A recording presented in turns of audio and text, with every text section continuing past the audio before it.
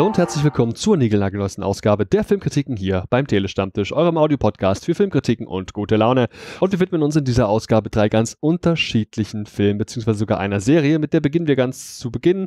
Die Rede ist von American Horror Story 1984. Wir hatten die Gelegenheit, diese vorab zu sehen und für euch zu besprechen. Das haben in dem Fall getan Max und Mo und dabei wünsche ich euch total viel Spaß. Ich kenne gar nichts von dieser Serie und bin mir sicher, dass die Besprechung sehr unterhaltsam geworden ist. Es folgt die Besprechung des Trash-Films African Kung Fu Nazis. Der kommt aktuell fürs Heimkino und auch hier hatten wir vorab die Gelegenheit, ihn zu sehen. In dem Fall waren das also Kenny, René und Werner, die den Film vorab sehen konnten und haben ihn auch entsprechend für euch besprochen. Das sind ja unsere drei Trash-Granaten und das ist bestimmt total fluffig. Es folgt zu guter Letzt dann noch die Besprechung eines echten Klassikers. Außer Atem kommt, beziehungsweise kam, erneut fürs Heimkino raus. Ein Film, der schon x-mal fürs Heimkino in diversen Ausgaben kam. Und das ist ja auch ein Film, in dem Jean Seberg eine Hauptrolle, wenn nicht gar die Hauptrolle spielt. Und da hatten wir vor kurzem auch diesen Film über sie besprochen und da geht es irgendwie auch ein bisschen darum und so. Und das ist alles voll cool, müsst ihr euch unbedingt anhören, was in dem Fall Andy, Lukas und Stu zu sagen haben. Das ist halt ein echter Klassiker, da muss man schon wissen, worum es geht. Jo Leute, lasst krachen, bis zum nächsten Mal. Ciao. Willkommen beim Telestammtisch. Ich bin Max und mit mir heute dabei ist der liebe Mo. Hallo. Und wir reden heute über die neunte Staffel von American Horror Story 1948. Hey, 84. 84, ach ja, stimmt, verdammt. 48, hm, das ist kein, das also das ist kein schlechtes geworden, Setting. Äh, geht, würde dann aber eine ganz andere Richtung gehen. Wahrscheinlich. Ja, genau. Jetzt mal allgemein. wie ist deine Meinung zu American Horror Story? Also, das ist meine erste Staffel, tatsächlich. Die, okay. die neunte ist meine erste. Ähm, ich kann dir gar nicht genau sagen, warum. Irgendwie kam American Horror Story auf und dann da war es gerade schick, irgendwie ähm, Horrorserien zu drehen. Und ich habe es nicht gefühlt. Und dann dachte ich mir, die neunte ist perfekt, um einzusteigen, weil ich im Vorfeld schon gehört habe, dass die sich so ein bisschen von allen anderen absetzen wird. Und ich habe jetzt keinen direkten Vergleich. Ich kann nur sagen, wenn die anderen Staffeln so gut sind wie das, was ich hier gesehen habe, dann werde ich auf jeden Fall jetzt anfangen, schön chronologisch alles durchzugucken. Okay, das ist interessant, weil äh, ich habe damals auch etwas äh, später mit der ersten Staffel angefangen und einfach relativ schnell gemerkt, dass dieses Szenario des, des Haunted House, in dem merkwürdige Dinge zugehen, mich einfach nicht sonderlich interessiert. Klar, äh, es ist eine Serie, das heißt, die machen noch mal was anderes mit, mit dieser Geschichte als jetzt ein Film von 90 Minuten. Aber ich, ich habe es einfach nicht so gefühlt.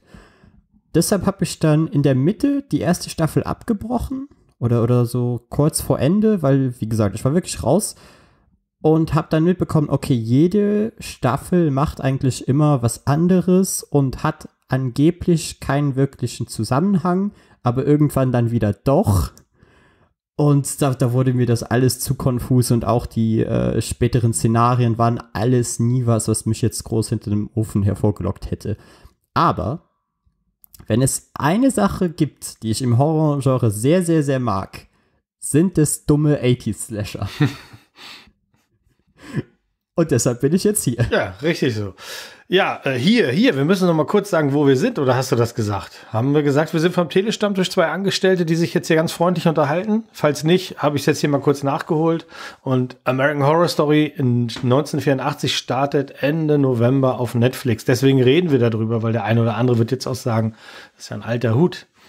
Ja, ist ja schon fast ein Jahr alt. Genau, aber ähm, auf Netflix ist die Sammlung dann komplett und das ist es äh, für uns alle mal wert, dass wir jetzt darüber reden. So, du hast gerade gesagt, du stehst auf die 80s Horror- und Slasher-Filme und hier wird geschlitzt und gemordet, was das Zeug hält. Ein äh, unberechenbarer Serienkiller namens Mr. Jingle schnappt sich in einem Sommerlager jede Menge junge Menschen. Das klingt ja erstmal so wie ein bisschen Freitag der 13., ein bisschen Camp des Grauens, ein bisschen wie alles, was du gerade so gut findest, oder?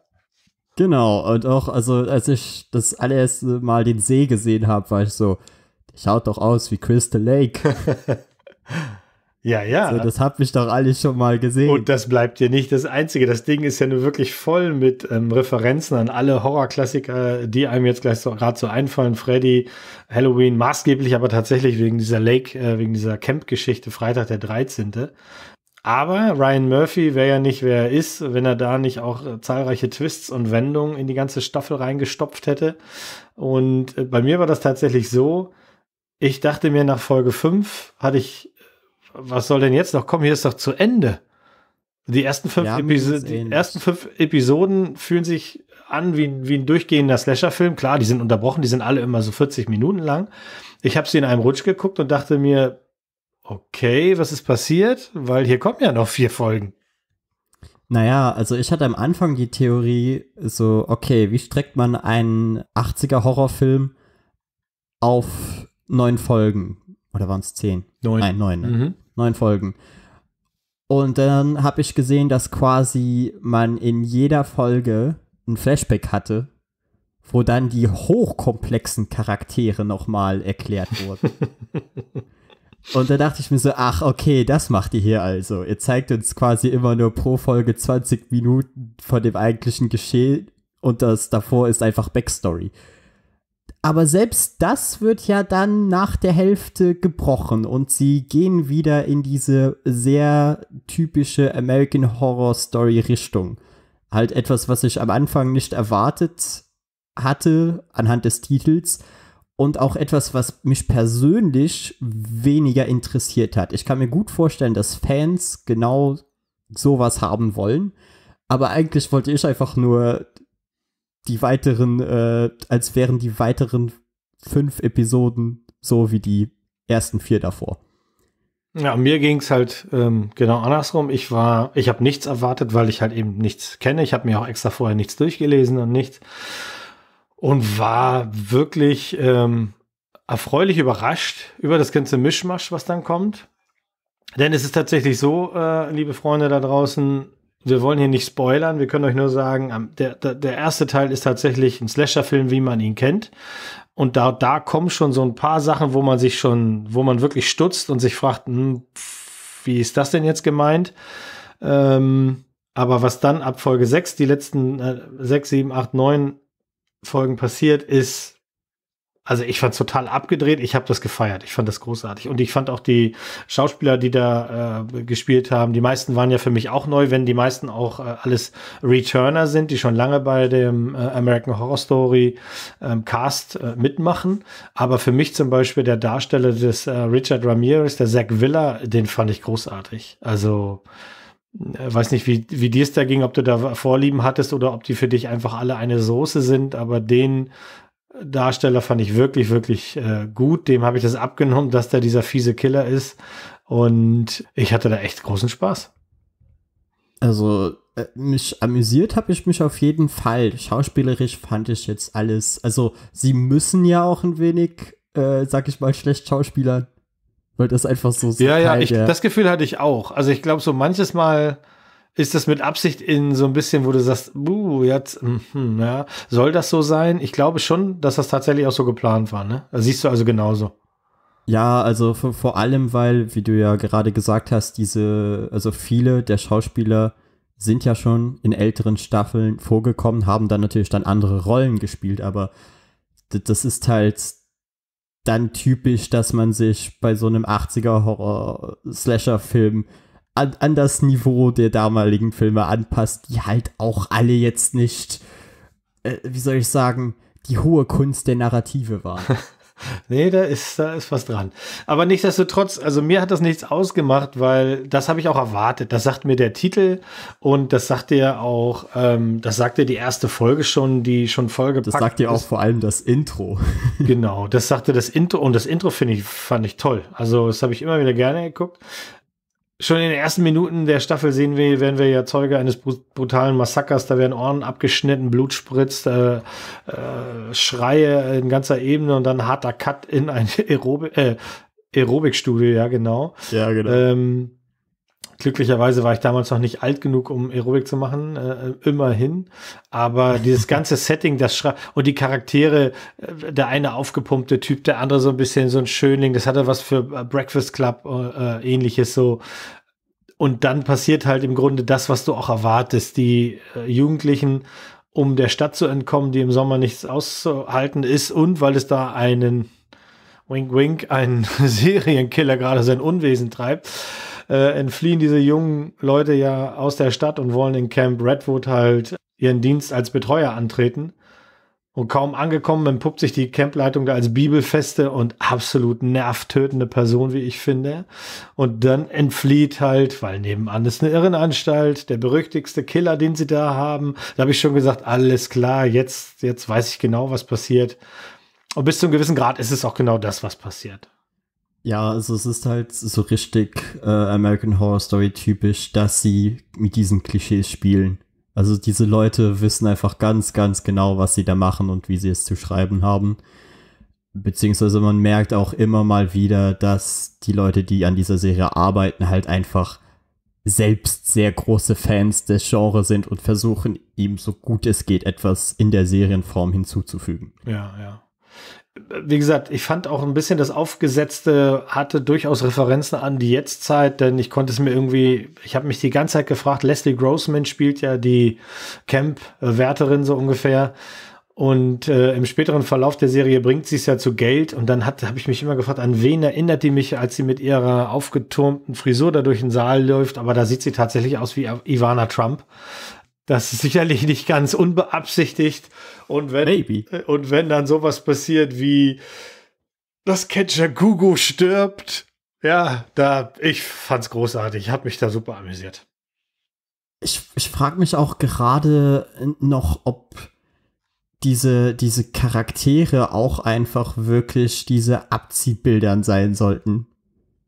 So wirklich dieses, weil du hattest ja die absoluten Klischee-Charaktere teilweise drin. Du hattest das typische Final Girl, was am Ende überleben muss. Mhm. Sie ist meistens weiß und hat braune Haare. Du hast die blonde Bitch.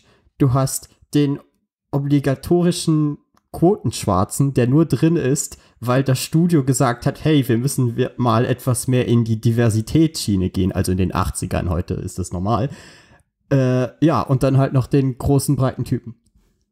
Ja, aber die Twists äh, legen da ja schon noch, so eine Facette drüber, die ganzen Twists. Du hast ja auch den quasi Standard-Killer-Typen, der da äh, durch die Gegend schleicht und am Ende ist halt alles nicht so richtig, wie es schien und scheint.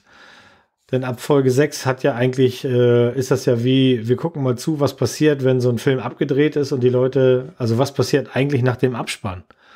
So kam mir ja, das so genau. ein bisschen vor. Und ähm, für mich sind das neun Folgen unterhält, unterhaltsamer Fun-Slasher. Klar, für die richtigen Hardcore-Leute ist das hier wahrscheinlich zu wenig Blut. Es gibt auch keine nennenswerten Jumpscares oder sowas in der Art. Man sieht das alles kommen, weil das alles schon mal da war. Was ihr halt eben nicht kommen seht, sind wahrscheinlich die Twists and Turns, äh, die mir Spaß gemacht haben. Du standst da jetzt nicht so sehr drauf, aber das ist ja auch wahrscheinlich genau das Ding. Deswegen ist das so eine angesagte Serie, weil jede Staffel für sich steht, ne? Genau, und, und sie halt immer versuchen, etwas mehr zu machen als die Konkurrenz. Ja, wie gesagt, mich hat es angeteasert, auch mal so die ein oder andere Staffel. Und ich werde werd die einfach nach Themen durchgehen. Die haben ja alle immer ein, ein Thema und das werde ich mir einfach genau. mal schnappen. Ich wollte mit 84 anfangen, denn ich bin da genau wie du. Ich stehe auf die, die Sachen mit solchen Filmen, bin ich eben groß geworden.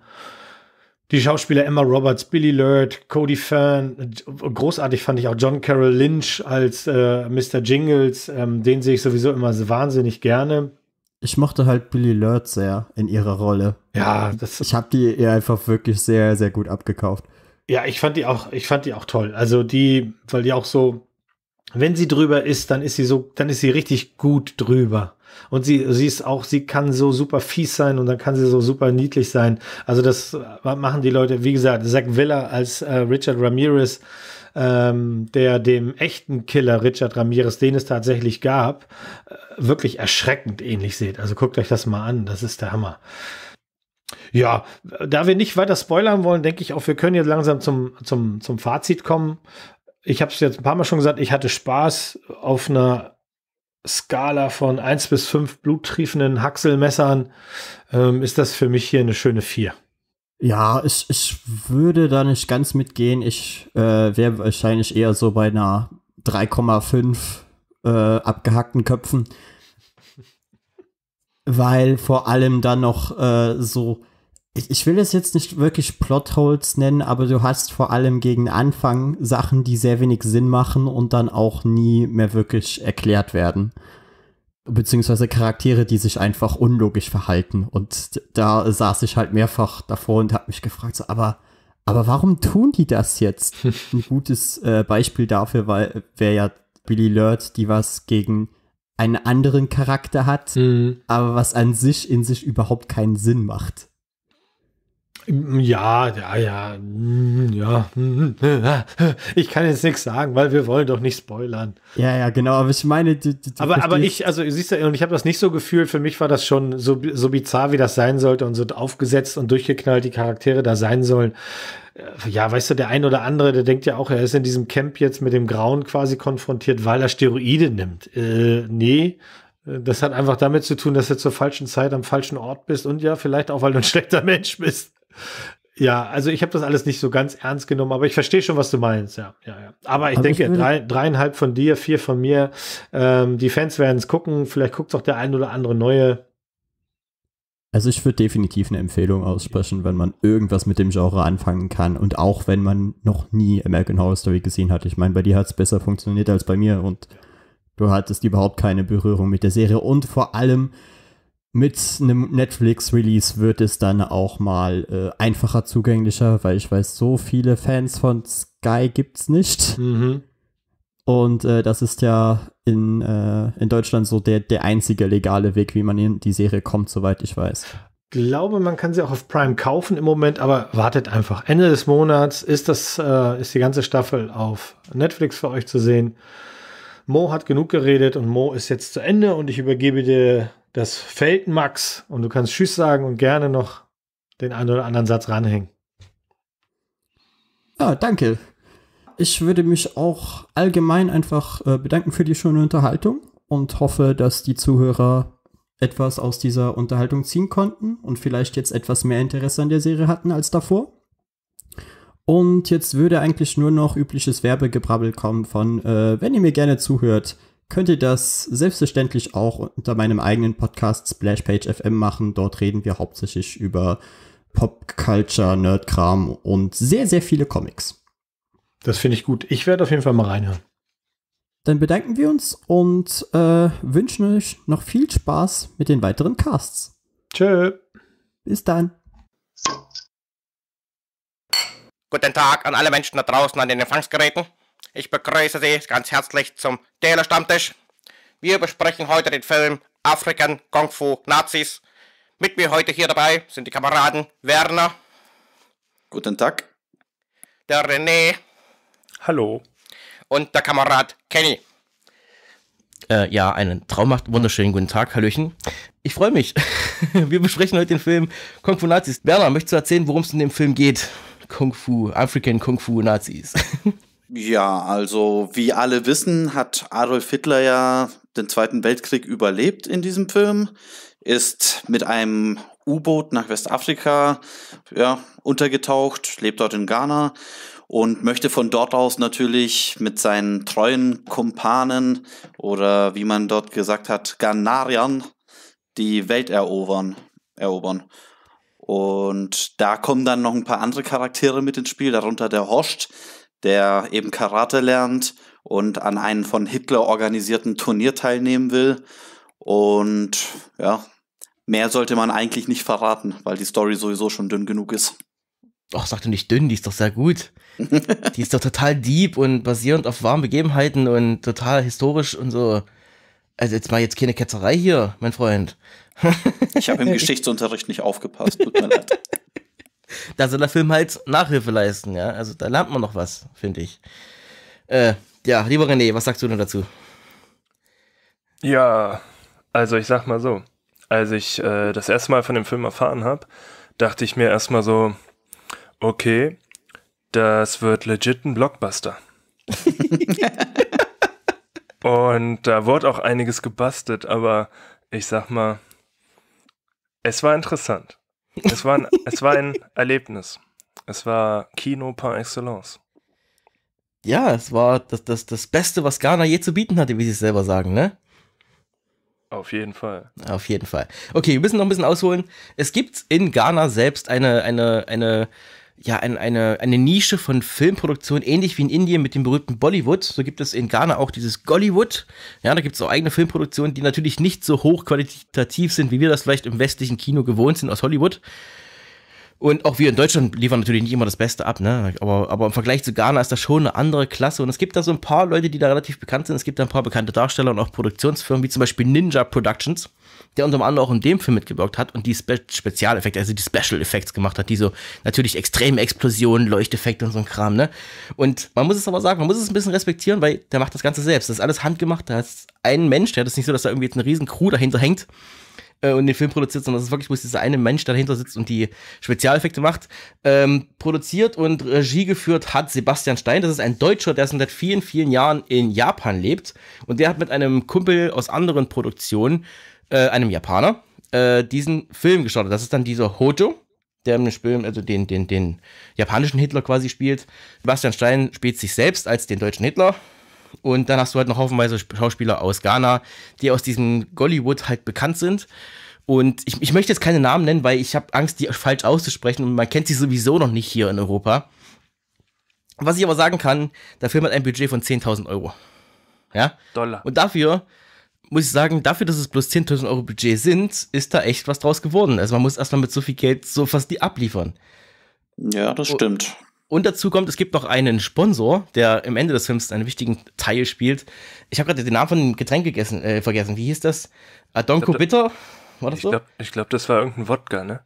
Naja, so, ich glaube, Adonko, Adonko Bitter hieß das, glaube ich. Ja. Und die sind da wirklich quasi zu dieser äh, Firma hin und haben äh, den quasi als Sponsor beworben und quasi immer in den ganzen Filmen am Ende in, in den Kampfturnier hat man überall das Banner hängen, also so wirklich so, so ein Stoffbanner, wie man es halt irgendwie aus dem, aus dem Kreisliga-Fußball vom, aus dem, vom Dorf kennt. Ja. und, und die, die trinken die ganze Zeit halt die, die, die Getränke und die Flaschen sind immer schön in der Kamera zu sehen. Also perfekt. Was ich sagen muss, was absolut geil ist, ist, ähm, sind die Namen der, der, der Charaktere. Wir haben zum Beispiel, wie er schon sagte, Horst. Ja. Man würde nicht auf die Idee kommen, dass diese Person Horst heißt. Ja?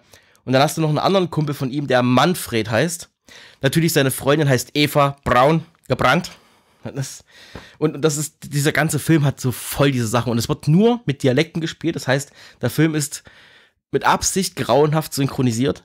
Das heißt, sämtliche Charaktere haben irgendwelche Dialekte, sei das Schwäbisch, Bayerisch, äh, ein bisschen Ostdeutsch war dabei. Das ist halt absolut obstrus zu sehen, dass diese Schauspieler halt mit diesen total kranken Dialekten reden vor allem die, die bayerische, bayerische Eva Braun, das ist halt absoluter Bullshit, aber es ist echt gut.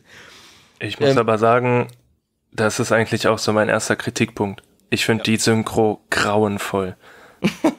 Absolut. Also teilweise hat man nicht einmal genau verstanden, was die da gerade geschwätzt haben. Und ja. Ich glaube, ich glaube, hätte man passende Stimmen zu den jeweiligen Darstellern genommen mit diesem Dialekt, hätte ich es gar nicht so schlimm empfunden. Aber ich fand's nicht lustig. Auf, also in keinster Weise. Echt nicht? Nee? Ich nee, fand das überhaupt nicht. nicht. lustig. Mich oh, ich, fand ich, fand, ich fand das mega geil zu sehen, wie die halt irgendwie auf Bayerisch oder Schwäbisch dahin schwätzen. Das fand ich mega gut. Das hat halt die, die das, das hat die halt die Seriosität rausgenommen. Hätten die jetzt normal gesprochen und normal geschauspielert, dann wäre das zu ernst. Also ich glaube, die Dialekte nehmen da die Seriosität raus, dass du merkst, es ist. Ja, aber Trash. genau das ist für mich einfach der größte Knackpunkt. Ich glaube, im O-Ton hätte ich den Film deutlich besser gefallen, äh, hätte mir der Film deutlich besser gefallen. Ja, also man braucht keine professionellen Stimmen hier in dem Film, aber zumindest ähm, einen neutraleren Ton, um das mal so zu sagen, weil ja. äh, wenn wir ehrlich sind, wir reden hier von einem Trash-Film, ne? Das ist äh, nichts Seriöses, nichts Ernstes und in diesem Filmgenre, da kann eine billige Synchro den Spaß auch aufwerten. Das äh, kann für ein paar Extralacher sorgen, aber hier ist es leider nicht der Fall. Hier hat man eine schlechte Synchro, die den Film verschlechtert. So sehe ich das. Also war es für euch wirklich Folter? Also war es für euch wirklich nicht irgendwie mal ein bisschen Spaß und Lachen oder war es für euch wirklich nur so schlimm und grauenhaft? Also ich, ich sag mal so, es gab natürlich Momente, wo man schmunzeln konnte. Ne? So ist es nicht. Aber ich, also für mich war es deutlich zu drüber. Und ich ja. meine, ich bin wirklich großer Fan von Trash, aber da gibt es für mich auch so Grenzen. Und für mich gehört zu Trash nicht, dass eine, dass eine Synchro vollkommen überzogen ist. Also ich hab's lieber, ich habe lieber eine normale Synchro und dafür ja Trash im Film selbst, ne, mhm. anstatt anstatt ähm, innerhalb der Synchro, weil ein zweiter Aspekt, warum ich ihn im O-Ton wahrscheinlich besser finden würde, ist, ähm, dass ich gern gesehen hätte, wie sich denn diese Darsteller aus dem Land so tun.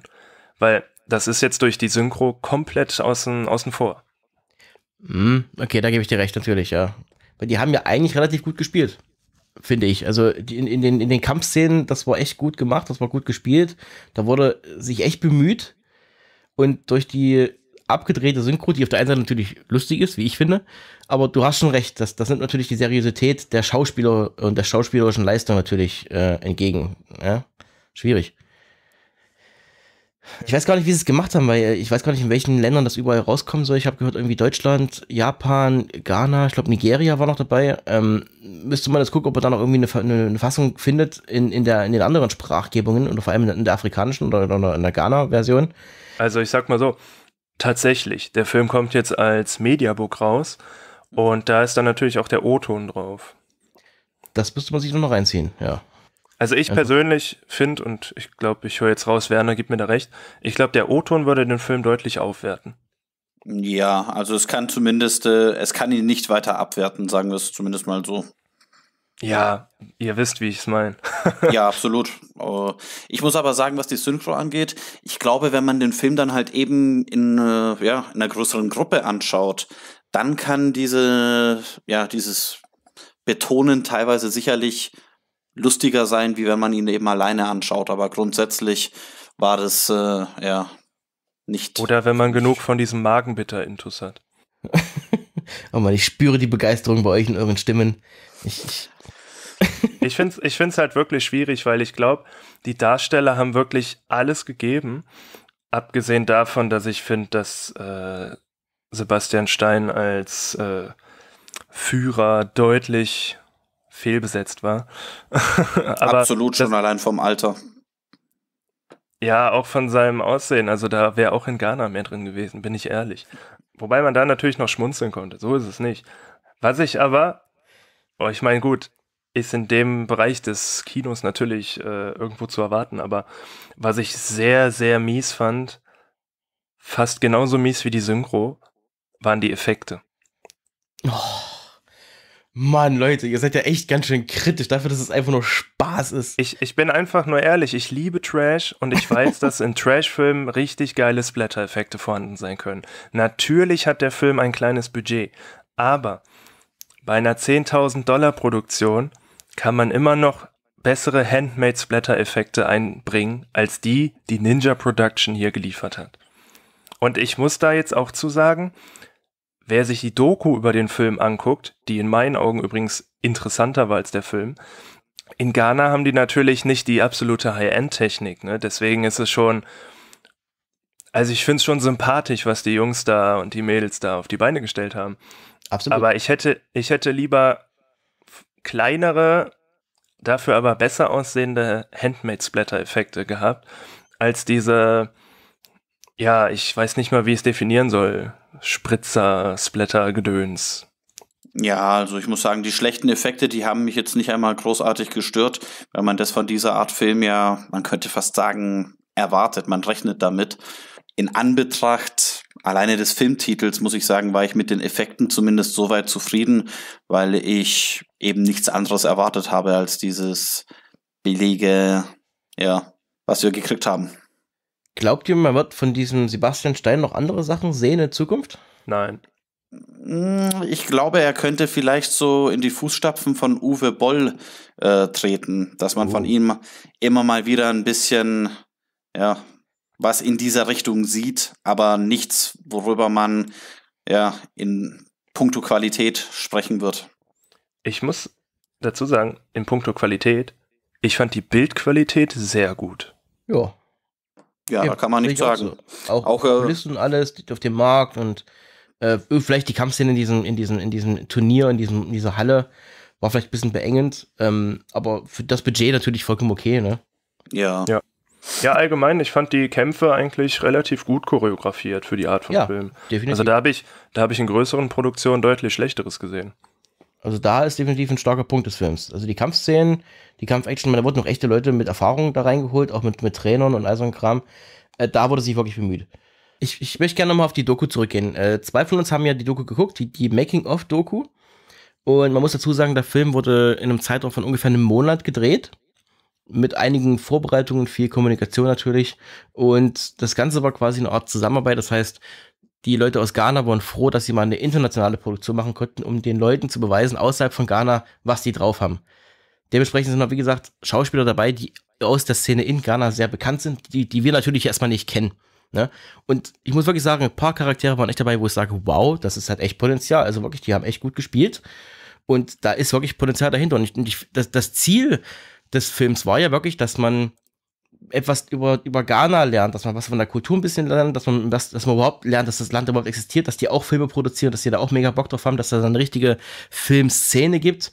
Und das haben sie mit dem Film geschafft, dass ich mich jetzt mit dem Land beschäftigen möchte, dass ich mich mit den Ninja Productions und den anderen Filmen, diese, diese typische Machart von diesem Gollywood, äh, dass ich mich damit beschäftigen werde. Und damit haben sie ihr Ziel quasi erreicht, dass das quasi jetzt nach außen getragen wird, außerhalb von Ghana. Das ist wenigstens, natürlich ist es keine AAA-Produktion, ja, das ist denen selbstbewusst, das haben die auch von vornherein gesagt, das wird keine übelste High-End-Produktion. Aber die haben sich bemüht und haben es geschafft, irgendwie jetzt ein bisschen aus ihrer kleinen Bubble rauszukommen und ein bisschen der Welt zu zeigen, was sie können.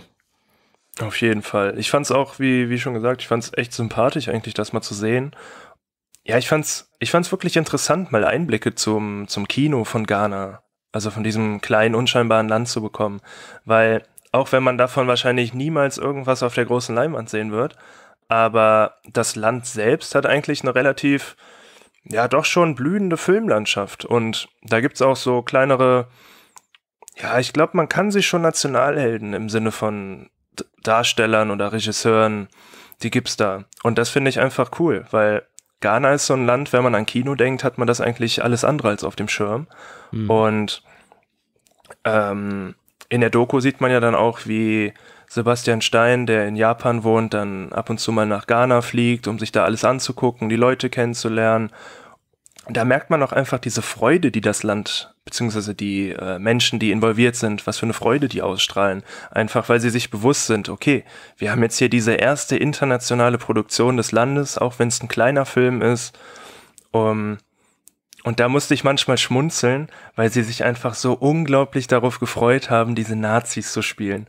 Und wer den Film sieht, wird merken, die sind dann halt, weil sie gar ein Aria sind, natürlich weiß angemalt. Und die feiern das einfach total. Sie sind sich bewusst, was für eine Geschichte dahinter steckt, aber es ist ihnen egal. Ja, also man, man sieht ihnen an, sie hatten Spaß bei der Arbeit. Das merkt man denen in jeder Sekunde an. Und dementsprechend ähm, muss man sagen, kann sich das Produkt in dem Sinne auf jeden Fall sehen lassen. Aber überzeugend tut es halt eben nicht so richtig, muss ich sagen, weil ich dann insgesamt, was die Qualität angeht, den Unterhaltungswert, doch ziemlich enttäuscht war, muss ich sagen. Also äh, so toll das Ganze mit dem Hintergrund, Produktion, Land und so etwas, so toll das alles war, äh, filmisch gesehen hat er mich, hat er mir einfach zu wenig geboten, muss ich sagen. So, sowohl was den Unterhaltungswert angeht, als halt eben auch den Inhalt. Und bei einem Trashfilm, da weiß man natürlich, worauf man sich einlässt. Da erwartet man jetzt äh, ja keine Oscar-Nominierungen oder etwas dergleichen, sondern einfach nur Spaß. Und der hat hier leider größtenteils gefehlt. Ich möchte mal kurz zusammenfassen. Äh, der Film geht ungefähr eine Stunde 20 Minuten und ist so ein bisschen unterteilt in drei Teile, würde ich sagen. Man hat äh, quasi das, also, okay, sagen wir vier Teile. Man hat das Intro, was ein bisschen historisch gemacht ist, so mit, einer- mit einer kleinen Vorgeschichte. Dann hat man die, die, die eben, die, das quasi das, das Intro, wo die Charaktere vorgestellt werden, zum Beispiel der Horst mit seiner Freundin, in welchem Umfeld er lebt. Dann kommen quasi die ersten Nazis dahin und machen da den Radauz und machen da Stress. Dann geht's über in die nächste Phase, wo quasi der Horst eine Ausbildung bekommt. Und dann nach dem Training fängt dieses große Turnier an, was so ein bisschen an Mortal Kombat erinnert. So, man hat so einen übelsten Boss, der irgendwo äh, vor einem Banner sitzt. Dann hast du die Kämpfer, die gegeneinander kämpfen um, um Tod. Das heißt, es gibt immer nur einen Überlebenden. Und dann hast du ein paar epische Kämpfe mit so einer Art Playoff-System und Ligasystem. Und dann irgendwann das Ende hast du das halt Finale, ein richtig schön trashiges Finale. Und ich muss sagen, der Film hat vor allem geschwächelt in dem Mittelteil, also in dem Ausbildungsteil, wo eigentlich andere Filme, sagen wir mal jetzt Karate Kid oder äh, gerade Kill Bill, so, so prägnant sind in der Ausbildung, dass man da richtig viel einbauen konnte war das am langwierigsten. Das war ein bisschen langatmig, das war ein bisschen langweilig und noch anstrengend, vor allem weil da die Charaktere wirklich extrem in Dialekt gesprochen haben, dass man es fast gar nicht mehr verstanden hat.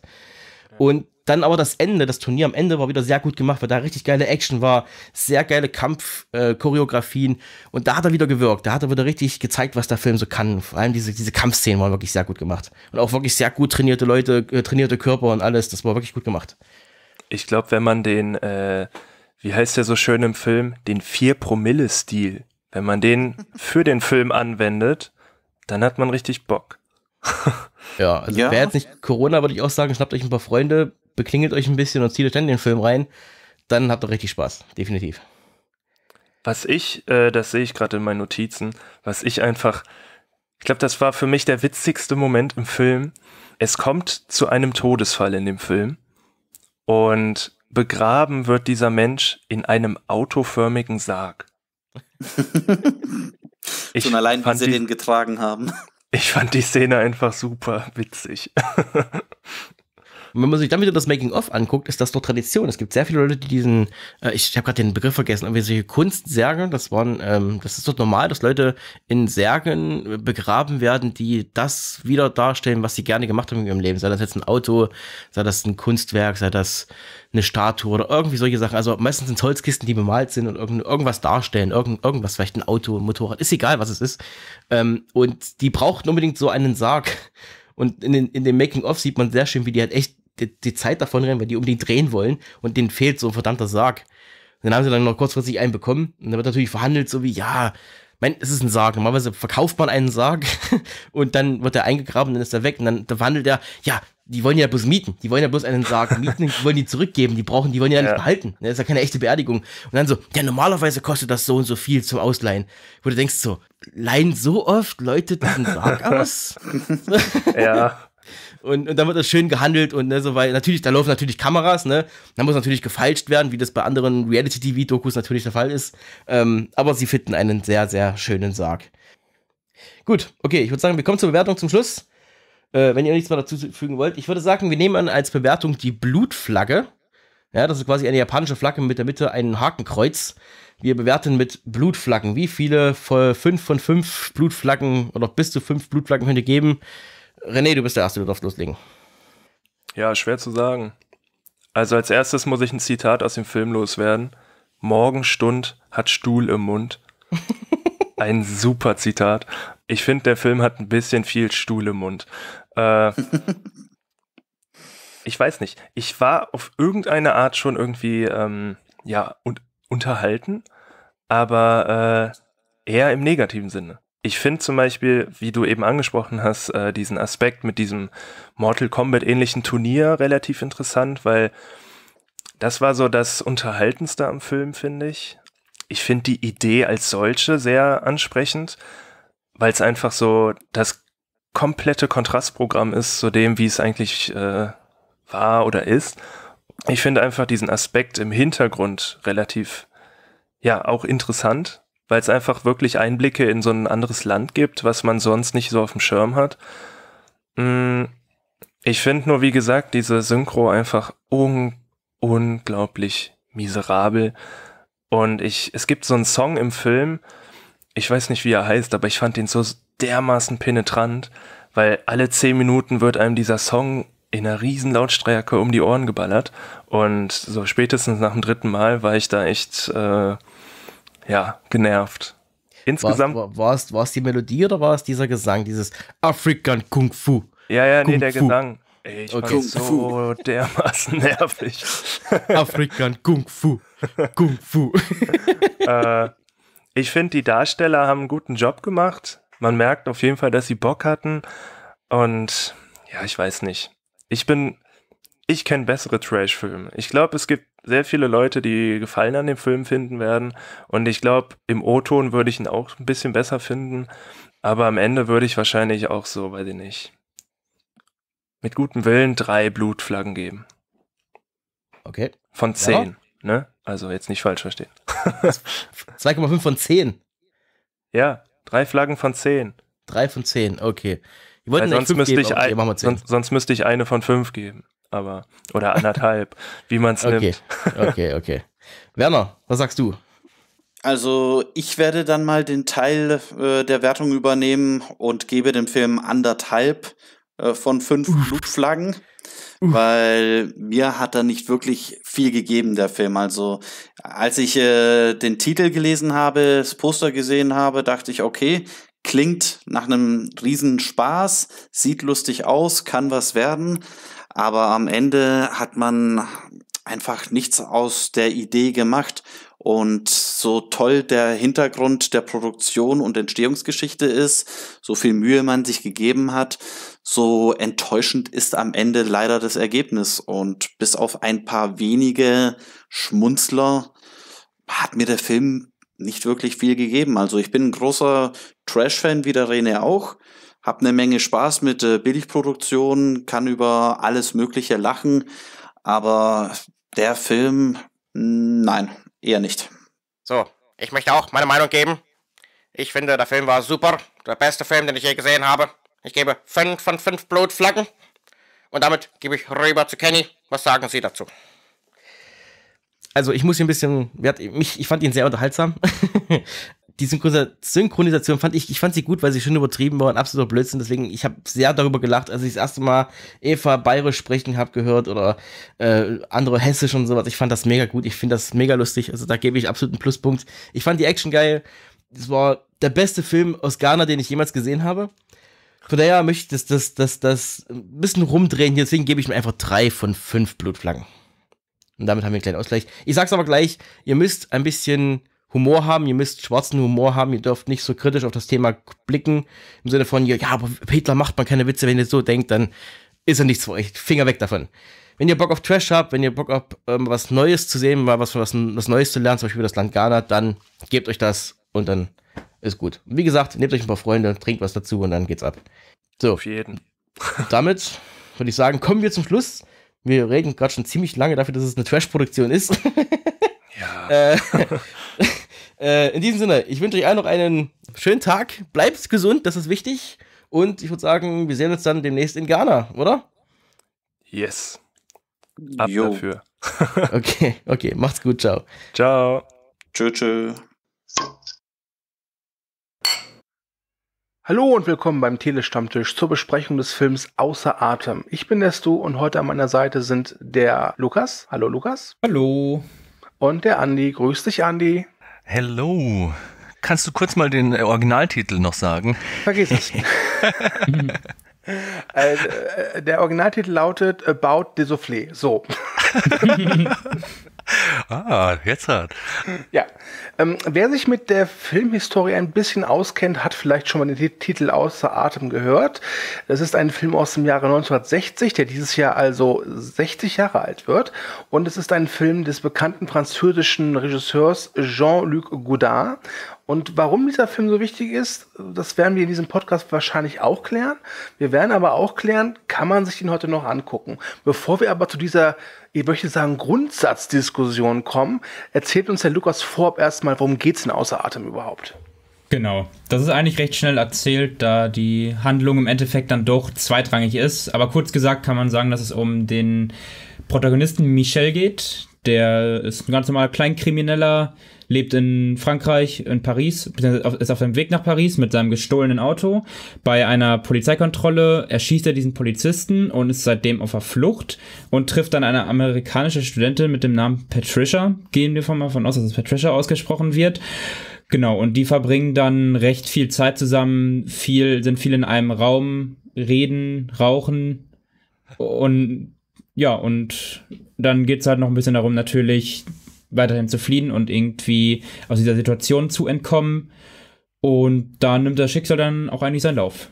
Ja, ähm, hm. ich finde, der Alternativtitel Reden und Rauchen passt perfekt zu Außer Atem. also ich glaube, Außer Atem liegt nicht daran, weil sie andauernd auf der Flucht sind, sondern weil sie echt unendlich quarzen. Es ist unglaublich, wie viel in ja. diesem Film geraucht wird. Ja, der Belmondo, der zündet sich doch seine nächste immer mit der letzten schon wieder an, gell? Ja. Fällt auf. Ja, ja, schön, der Lukas hat was Schönes gesagt, das fand ich ganz toll, ähm, dass die Handlung eigentlich eher zweitrangig ist. Weil eigentlich ist es ja schon so eine ziemliche Crime-Handlung und so und man könnte daraus jetzt auch voll den spannenden Film machen, aber irgendwie ist es ja eher so ein Gegenentwurf zu diesen typischen ja, Film Noir oder so, wie nennt man das? Film Noir würde Detective, ich schon sagen, Crime, ja. genau, genau, sagen, Noir-Dingern. Es gibt, Und es ist ja eher so ein Statement. es gibt ja gleich zu Beginn diese Szene, wo Jean- Jean-Paul Belmondo, der diesen Michel spielt, vor so einem Poster von Humphrey Bogart steht. Und äh, das äh, ist schon fast schon so was wie ein Kommentar, finde ich, vom Regisseur, der jetzt klar macht, okay, wir erzählen jetzt eine Geschichte, äh, die unglaublich gut zu Humphrey Bogart gepasst hätte, zu diesem Film Noir-Tropen auch. Aber wir, wir, wir erzählen sie nicht so, wie er glaubt, äh, wie sie passiert, also geschehen sollte. Es ist ein, ich würde sagen, es ist ein sehr pessimistischer Film eigentlich, oder? Hm, Gute Frage. Schon, könnte man, könnte man, denke ich, so sagen, ja.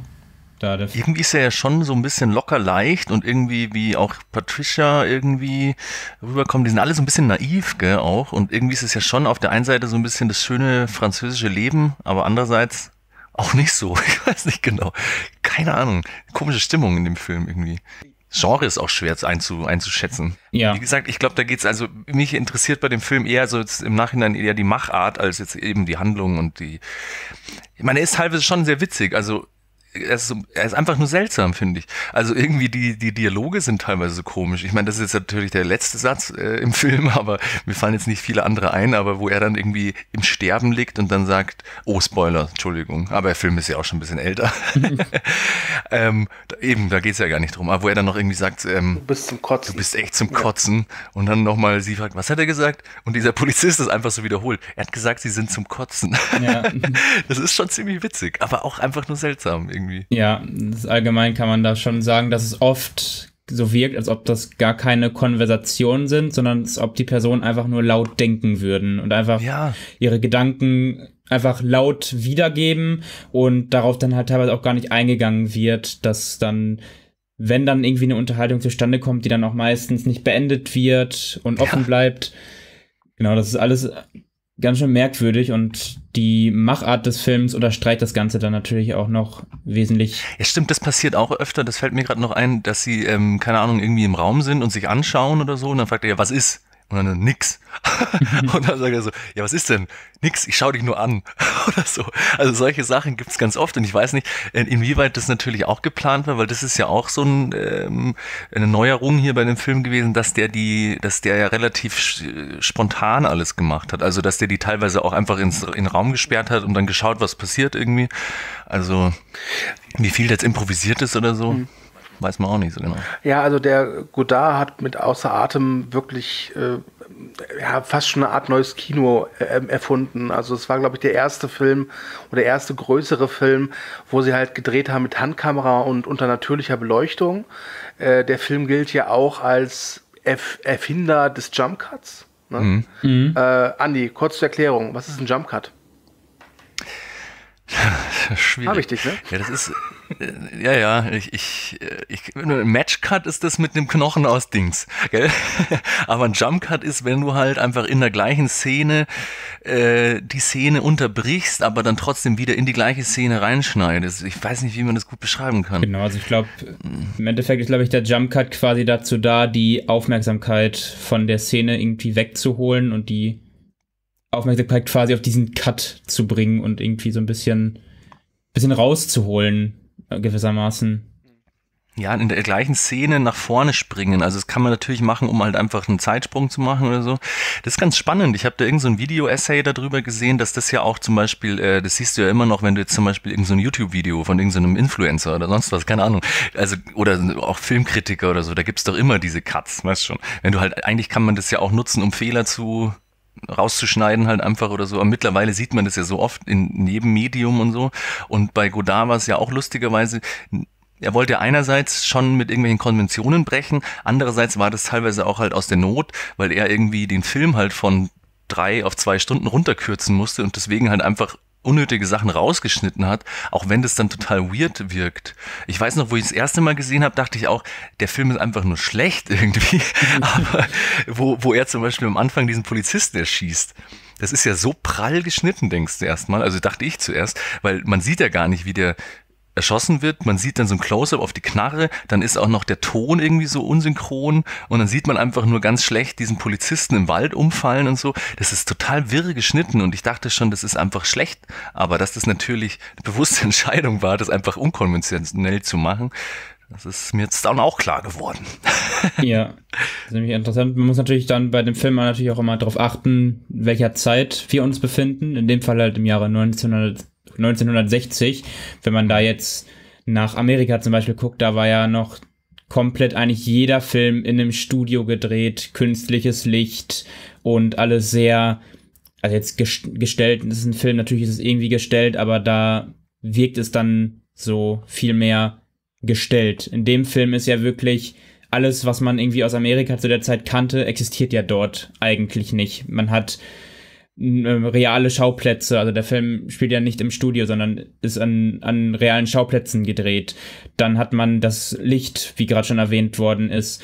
Und dann dazu, dass dann viel so diese Alltagsgeräusche auch mit eingefangen werden von der Stadt und dann sich dadurch dieses immersive Erlebnis quasi auch ein bisschen bildet, einfach weil man einfach so Autos und einfach so das Drumherum auch hören kann, was man sonst ja so noch nicht kannte und was halt auch recht interessant zu beobachten ist, weil das ja quasi die Sachen, die Godard hier mit dem Film gemacht hat, eigentlich genau die Eigenschaften sind, die dann auch das New Hollywood quasi so, mhm. was halt das New Hollywood Cinema quasi genau so identifiziert.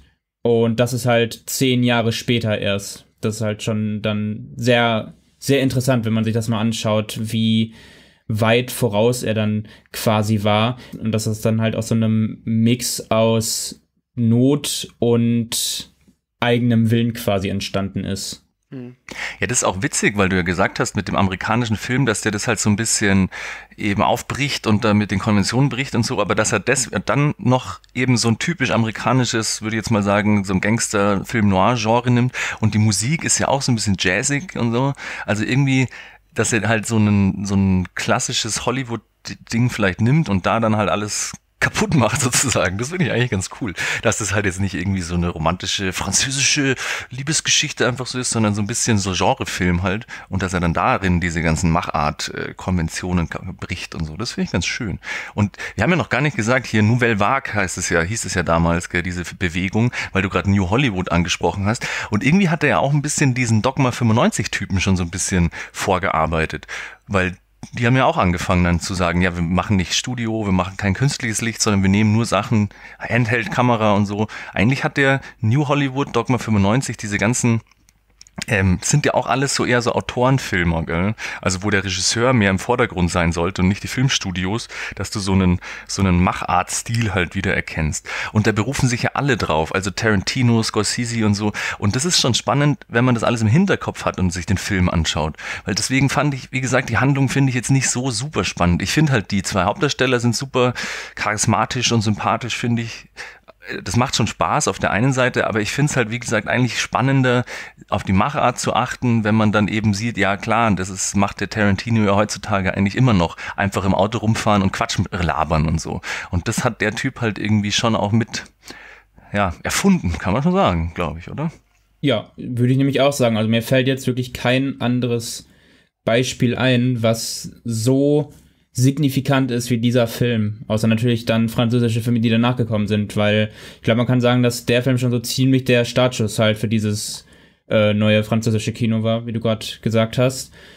Und ja, also mir fällt da jetzt nichts ein, was davor wirklich so mit Konvention gebrochen hat. Was natürlich dann nicht heißt, dass die Filme dann irgendwie schlecht sind. Das ist natürlich alles, was heißt alles, aber davor gab es natürlich auch gute Filme. Es ist aber nur interessant zu sehen, wie Leute Konvention nehmen und diese einfach, mh, hm, einfach brechen und denen das quasi ja, egal so, ist so.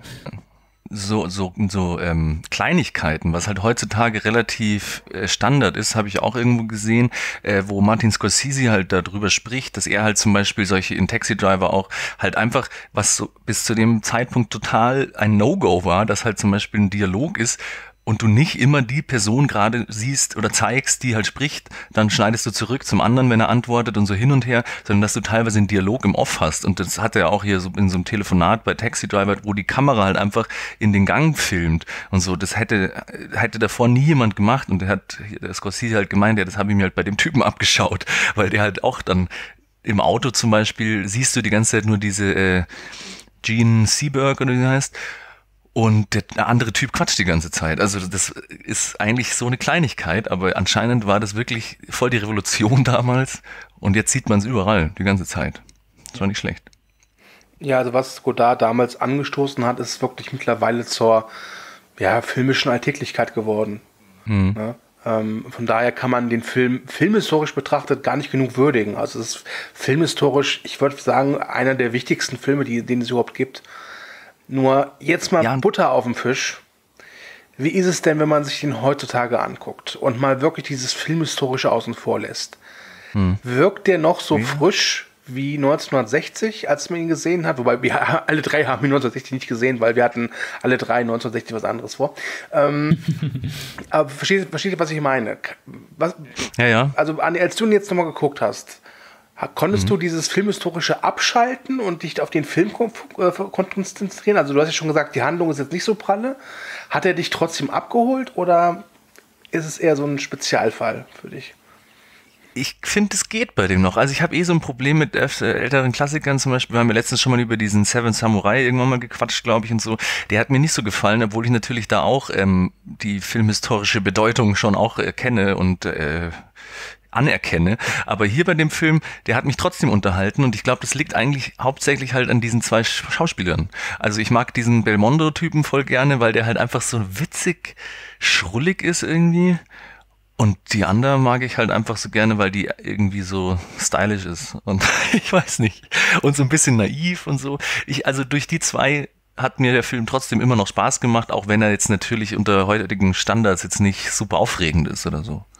Kann ich schon sagen, glaube ich. Ja, dem kann ich tatsächlich auch so zustimmen, denn ich finde, auch wenn man jetzt diese Mittel, das alles mittlerweile kennt, sieht man, ist es trotzdem, dass es halt mittlerweile in Filmen, wo das verwendet wird, dann doch irgendwie so, so konventionalisiert worden ist. Also, das ist so quasi, dass man das genommen hat, was damals der Regelbruch war und das zu einer Regel quasi gemacht hat. Und das ist halt, in dem Film sieht man halt, dass es noch nicht so ist, sondern dass es wirklich einfach dieses Raw einfach auf die Fresse quasi einfach, ich mach was ich will mäßig ist. Und das halt jetzt moderne Filme, Filme von heute quasi, die sich diesen Stilmitteln bedienen, aber das halt nicht so haben. Deswegen finde ich, ist der Film immer noch interessant, vor allem weil, wie ähm, schon gesagt worden ist, einfach die Chemie zwischen den beiden auch einfach sehr mhm. interessant ja. ist. Und ich finde auch, also ich kann mich auch halt für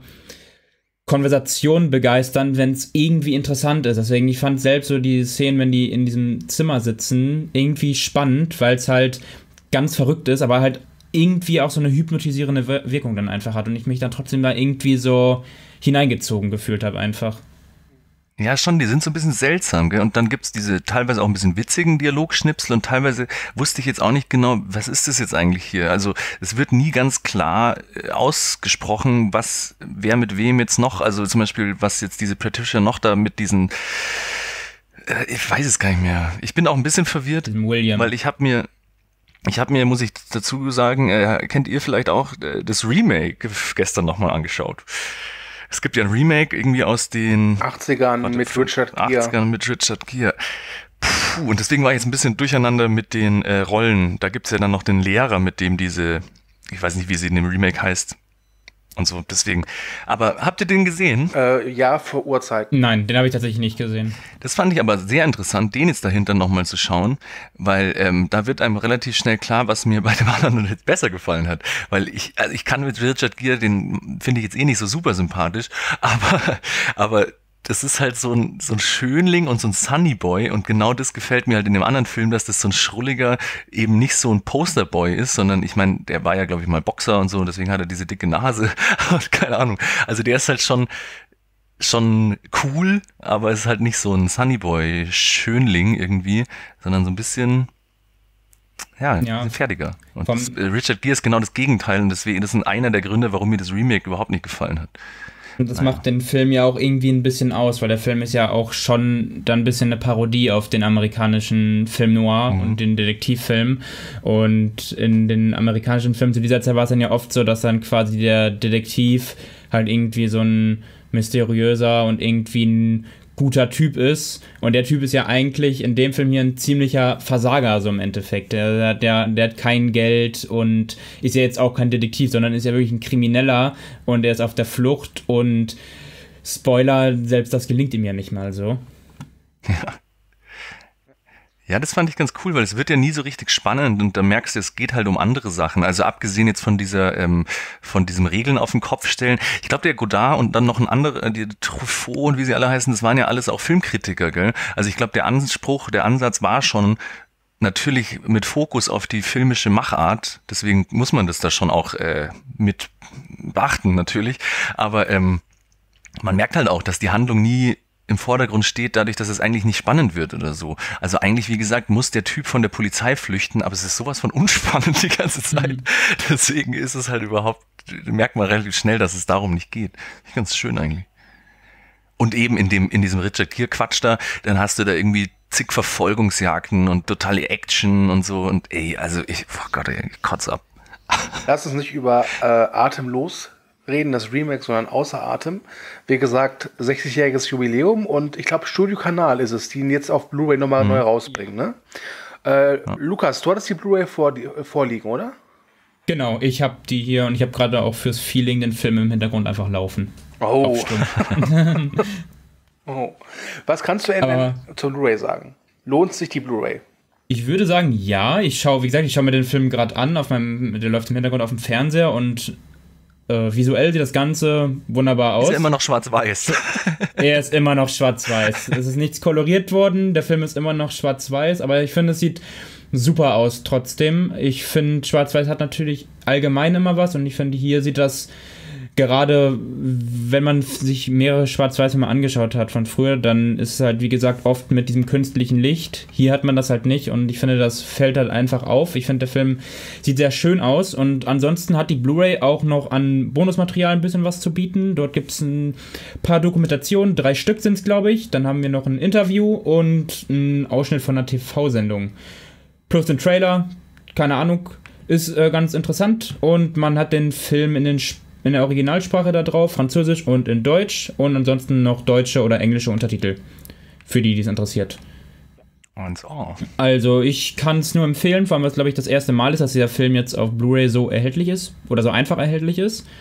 Und wer den Film noch nicht gesehen hat, das ist auf jeden Fall, finde ich, ist es ein interessantes und schönes Stück in der Filmsammlung. Ja. ja. Also das sei nochmal gesagt, ähm, ich kann verstehen, wenn man mit diesem Film nichts anfangen kann, weil er schon für heutige Sehgewohnheiten vielleicht speziell ist. Aber das ändert nichts an der Wichtigkeit in der Filmhistorie. Ja. ja. ja. Ja, ich empfehle schon auch, dass man sich halt vielleicht davor oder danach einfach noch ein, zwei Interviews mit Tarantino oder Scorsese über diesen Typen, über den Film und so ein bisschen anschaut, um das alles so ein bisschen dann genauer einordnen zu können. Also wie gesagt, jetzt jemand, der sich für Filme machen und Filmhintergründe und so überhaupt nicht interessiert, ist es halt schwierig, wie gesagt. Da weiß ich jetzt nicht, ob der Film so viel Spaß macht. Aber wie gesagt, die zwei Schauspieler machen mir halt auch äh, Spaß, ohne zu wissen, dass der Typ irgendwelche Filmtechniken revolutioniert hat. Deswegen, weiß ich nicht. Okay, dann kommen wir mal zum Fazit. Ähm, und ich würde sagen, dass wir diesmal Zigaretten vergeben. Was anderes fällt mir jetzt nicht okay, ein. Das klingt, das klingt gut. Okay, gut. Ähm, ich dränge mich mal einfach nach vorne und ich vergebe ihm vier von fünf. Ich finde, das ist ein gerechtfertigtes Meisterwerk und ein Kultfilm, ein toller Film, ein wichtiger Film, äh, der immer noch so diesen, diesen Flow hat, den ich immer noch sehr mitreißend finde. Und äh, ja, äh, bin sehr erfreut, dass der Film jetzt in ordentlicher Qualität auf Blu-ray erschienen ist. Dann macht mal der Andi weiter.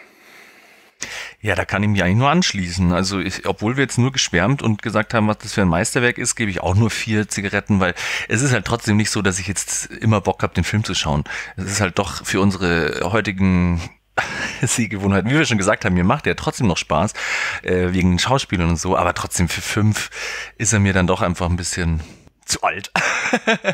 Du musst, dich, du musst dich nicht rechtfertigen. Du ich muss mich nicht rechtfertigen. Okay, danke. Okay, okay. Sag einfach, der Richard Gere gefehlt. Dann ist okay. oh Gott, oh Gott. Okay, Lukas. Ihm gebe ich übrigens ja. ähm, eineinhalb von okay. Wie viele Kippen gibst du außer Atem? Ich bin da ganz bei euch und gebe auch vier von fünf Zigaretten, weil ich den Film immer noch wahnsinnig entertainend finde. Ich finde ihn spannend, ich finde ihn hypnotisierend und einfach rundum sehr interessant und dann habe ich im Hintergrund dann immer noch das Wissen auch, wie relevant dieser Film für die Filmgeschichte ist und deswegen fühle ich mich da gut, einfach vier von fünf Zigaretten zu geben. Okay, gut. Dann würde ich sagen, haben wir es. Hey. Wird Zeit, den Aschenbecher auszuleeren. Ich danke euch da draußen fürs Zuhören. Ich sage Tschüss und der Lukas und der Andi dürfen auch noch mal was sagen. Ich sag auch Tschüss. Ich sag ebenfalls Tschüss. Und ich finde dich zum Kotzen. was heißt das Kotzen?